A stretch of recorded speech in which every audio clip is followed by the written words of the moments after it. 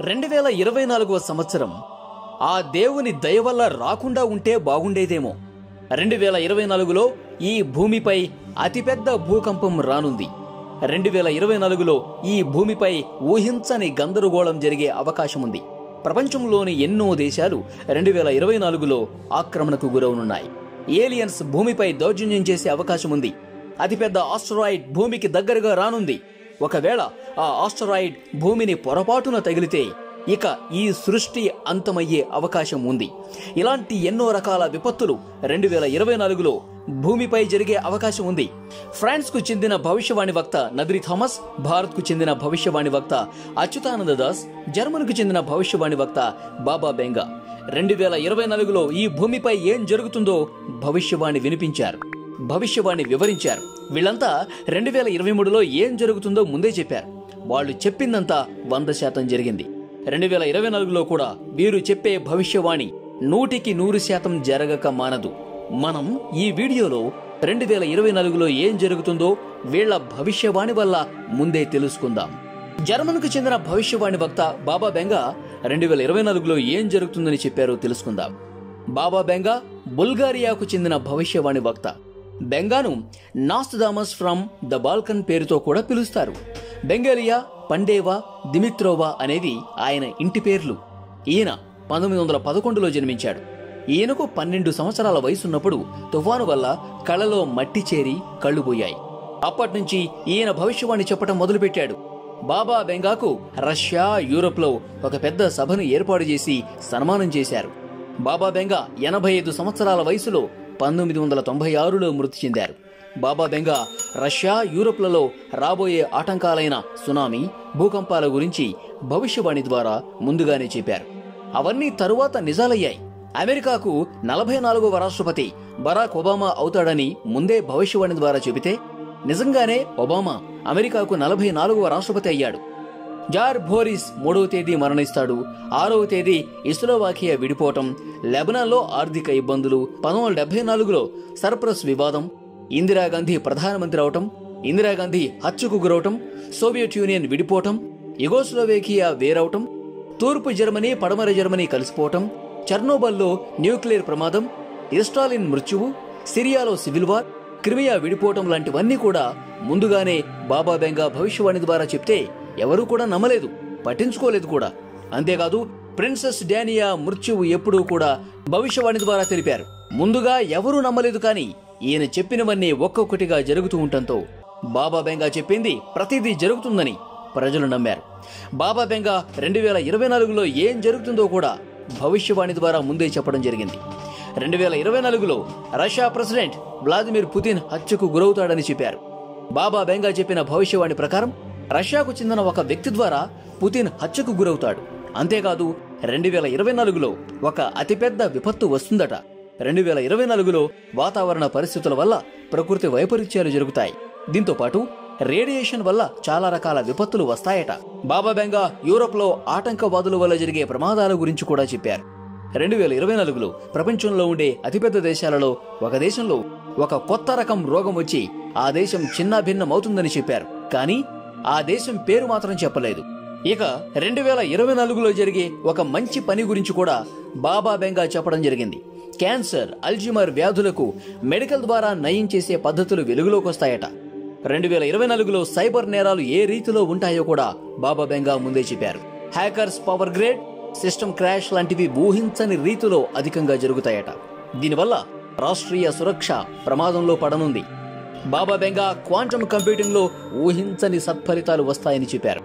రెండు వేల ఇరవై నాలుగులో ఆన్లైన్ టెక్నాలజీ చాలా అంటే చాలా అభివృద్ధి చెందుతుందట. ఆర్టిఫిషియల్ ఇంటెలిజెన్స్ను ఉపయోగించే వాళ్ళ సంఖ్య ఎక్కువగానే ఉంటుందట. ఈ ఆర్టిఫిషియల్ ఇంటెలిజెన్స్ మానవజాతి మనుగడకు భవిష్యత్తులో అనుకోని ఇబ్బందులను కూడా తెచ్చిపెడుతుందట. ఫ్రాన్స్కు చెందిన భవిష్యవాణి వక్త నద్రి థామస్ రెండు వేల ఇరవై నాలుగులో ఏం జరగబోతోందని చెప్పారో తెలుసుకుందాం. ఈయన భవిష్యవాణి ప్రకారం రెండు వేల ఇరవై నాలుగులో ఊహించని విషయాలు చాలానే జరగనున్నాయి. రెండు వేల ఇరవై ఐదు వచ్చేసరికి మొత్తం భూమి ఒక ప్రపంచం ఒక అర్థంలాగా మారిపోతుంది. అంటే ప్రపంచమంతా ఒకే రకమైన అధికారం అమల్లో ఉంటుంది.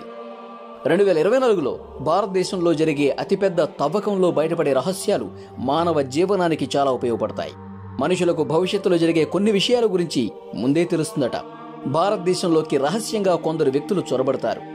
ఈయన భవిష్యవాణి ప్రకారం హిమాలయాలలో తపస్సు చేసేందుకు విదేశాల నుంచి చాలామంది వస్తారు. వీరిలో వెయ్యి సంవత్సరాల నుంచి జీవిస్తున్న మనుషులు కూడా ఉన్నారు. రెండు వేల ఇరవై నాలుగులో భారత్ అంతరిక్షంలో ఒక సరికొత్త అద్భుతమైన విజయం కూడా సాధించనుంది.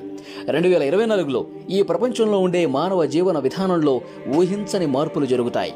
రెండు వేల ఇరవై నాలుగులో ముక్తిదాత అనే వ్యక్తి వస్తాడు. అతడు చెప్పిన మాటలను అందరూ నమ్ముతారు. ఈ ముక్తిదాత పూర్వకాలానికి చెందిన ఒక చక్రవర్తి అయి ఉంటాడు. రెండు వేల ఇరవై ఐదు అక్టోబర్ ఇరవై ఏడులో మేష ప్రభావం వల్ల ఒక పెద్ద వరద రానుంది. ఏషియాకు చెందిన రాజు మిశ్రు యొక్క చక్రవర్తి అవుతాడు. యుద్ధం మృత్యువు నష్టాలు క్రైస్తవులను పట్టి పీడిస్తాయి. పొరోపి యొక్క నేత ఆ దేశాన్ని విడిచి వెళ్ళిపోతాడు. తన దేశాన్ని విడిచిపెట్టి వెళ్ళిపోతూ ఇటలీకి చెందిన పర్వతాలను మంచును చూస్తాడు. ఇటలీపై దండయాత్ర చేస్తాడు. ఒక జలవాయువు ఆకాశం భూమి మరియు భూమిపై నివసించే మనుషులకు ఉపయోగపడుతుంది. మరొక జలవాయువు నీరు మరియు నీటితో నిండి ఉండే ప్రాంతాలకు ఉపయోగపడుతుంది. మూడవ జలవాయువు అంతరిక్షంలో అవుతుంది. రెండు వేల ఇరవై నాలుగులో ఒక అతిపెద్ద యుద్ధం జరిగే అవకాశం ఉంది ఆ యుద్ధంలో న్యూక్లియర్ బాంబులను ఉపయోగించే అవకాశం కూడా ఉంది. ఏ ప్రదేశంలో అయితే న్యూక్లియర్ బాంబులు పడతాయో ఆ ప్రదేశం మనిషి జీవనానికి ఉపయోగపడదు. ఆసియాకు చెందిన ఒక పెద్ద నేత దీనికి కారణమవుతాడు. ఐదు నదులు ప్రవహించే రాష్ట్రంలో ఒక రాజనేత జన్మిస్తాడు. ఈ రాజనేత వరన్ లేదా శరణ్ అయ్యే అవకాశం ఉంది. ఇతను ఒక శత్రువుని గాలి ద్వారా అంతం చేస్తాడు. ఈ ఘటనలో ఆరు మంది మృత్యువతబడతారు శీఘ్రిహి మొత్తం ప్రపంచంలో ఉండే ముఖ్య నాయకులలో ఒకడిగా సైరాన్ గుర్తింపు పొందుతాడు. ఇతడిని అందరూ ప్రేమతో గౌరవిస్తారు. కానీ ఆ తర్వాత ఇతనిలో భయంకరమైన రాక్షసుణ్ణి చూస్తారు. విజయం పొందిన వ్యక్తిగా సన్మానాలు పొందుతాడు. మహాన్ సితారా ఏడు రోజుల వరకు మండుతుంది. ఆకాశం నుంచి ఇద్దరు సూర్యుళ్ళు కనిపిస్తారు. ఒక పెద్ద కుక్క రాత్రంతా ఏడుస్తుంది. ఒక మహా వ్యక్తి తన రాజ్యాన్ని విడిచిపెట్టి వెళ్ళిపోతాడు ఎవరెస్ట్ కంటే మూడు రెట్లు పెద్దగా ఉండే ఒక ఆస్ట్రాయిడ్ భూమికి దగ్గరగా వస్తుంది. కొంతమంది శాస్త్రవేత్తలు ఈ ఆస్ట్రాయిడ్ పై పరిశోధనలు చేసి మిలీనియం ఫల్కన్ మిశ్రమమని అంతరిక్షం నుండి తేల్చారు. రెండు వేల ఇరవై నాలుగు ఏప్రిల్ ఇరవై ఒకటవ తేదీ ఈ ఆస్ట్రాయిడ్ భూమికి అతి దగ్గరగా రానుంది. భూమిపై ఉండే ప్రతి మానవుడు దీనిని చూడవచ్చు. శాస్త్రవేత్తలు ఈ ఆస్ట్రాయిడ్కు ట్వెల్వ్ పి పోన్స్ బ్రూక్స్ అనే పేరు పెట్టారు. క్రాయో వల్కానిక్ ధూమ్ కేతు రూపంలో క్లాసిఫైడ్ చేశారు. దీనిని జ్వాలాముఖి పేరుతో కూడా పిలుస్తారు. దీని సైజ్ డయామీటర్ ముప్పై కిలోమీటర్లు. అయితే మనం మాట్లాడుతున్నది ఉల్కాపాతం పేరు బెన్ను. ఈ ఉల్కాపాతం ప్రతి ఆరు సంవత్సరాలకు ఒకసారి భూమి మీదకు వస్తుంది ఒకవేళ ఈ ఉల్కాపాతం భూమికి తగిలితే ఇక విధ్వంసమే. అయితే నాసా దీని నుండి భూమిని రక్షించడం కోసం ఇప్పటికే ప్రయత్నాలు మొదలుపెట్టింది. అయితే ఒకటి కాదు ఏకంగా పన్నెండు ఉల్కాపాతాలు భూమి వైపుకొస్తున్నాయి. నాద్రి థామస్ భవిష్యవాణి ప్రకారం ఒక ఉల్క ప్రపంచంలో ఉండే ఒక పెద్ద దేశంపై పడి ఆ దేశాన్ని ఊహించని వరదలతో ముంచేస్తుంది. ఈ ఘటన ప్రపంచంలో శాంతి అంతమై యుద్ధ వాతావరణం సంభవించినప్పుడు జరుగుతుంది.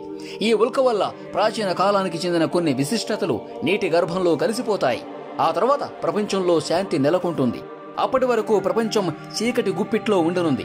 పర్వతాలపై మంచు కురుస్తుంది. ఎన్నో దేశాల మధ్య యుద్ధం మొదలై హఠాత్తుగా ఆగిపోతాయి. ఇవన్నీ ప్రకృతి వైపరీత్య ఘటనలు.